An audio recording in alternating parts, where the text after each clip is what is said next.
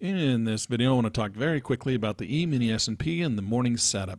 The first thing I want to do is just come in here and show you this white line is 8 o'clock this morning. So this is the pre-flop setup. This is what I call the pre-market setup out here, the London session. The London session you can see was moving and shaking, and so I had anticipation that we should see some of the same happening in our own markets here in the U.S. So what I did, first thing in the morning, I waited till the 9.30 a.m. morning. This is the E-mini S&P after all, and it is the stock market. The 9:30 a.m. bell rang at about right here, as you can see, and we got this first arrow indicating a downside potential.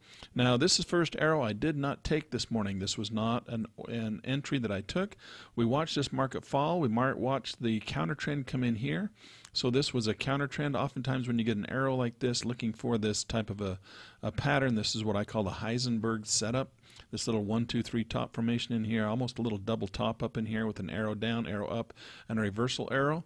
This is the counter trend right in here. We add our order to the blue light system with an intercept order, which means that the intercept order continually trails up along the blue lights until it intercepts the market, taking a short position.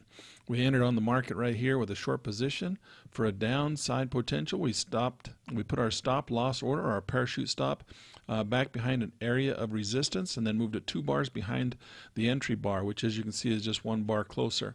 At this point, we were we were safe that uh, if the market turned around, we would get stopped out with a very small loss, looking for the downside next leg of the Elliott wave. If we come in here and count the Elliott wave, this would be one, or the X one. This is two. This is three. This is four. Going for the fifth wave all the way down here, A, B, C, and of course, we did not know that the fourth wave to the fifth wave was going to be a move of $1,000 but we enter at the red uh, arrow or at the intercept of the blue light and down this market went. We did not trail down the blue light system with an exit which would have got us out right here. What we like to do is hold our stop at break even and just wait for the reversal arrow which occurred down in this region here. And as you can see that was a $1,000 move. And of course this number doesn't represent commissions and fees. That was just a quick morning trade right off the morning bell. And the ABC topping formation or little double top here the Heisenberg setup with the intercept order on the E-mini S&P this morning. The number one question I get when people watch my videos is they want to know what software platform I'm using and what indicators I'm using. First and foremost, if you come to our website, tradementors.com, you'll notice that we have a section here called Tools for Traders.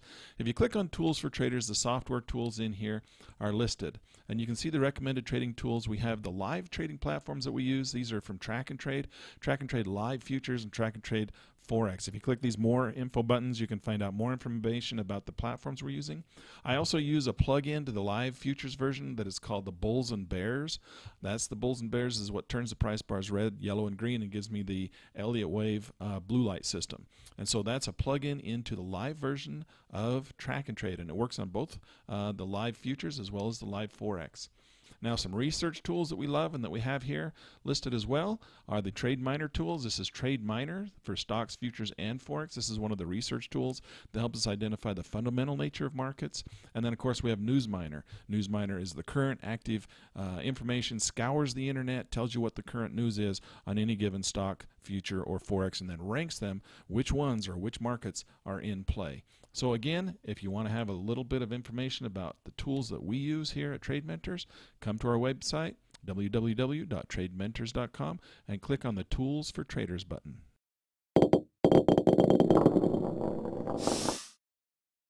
Hi, my name is Lan Turner, and I'm the founder of Trade Mentors.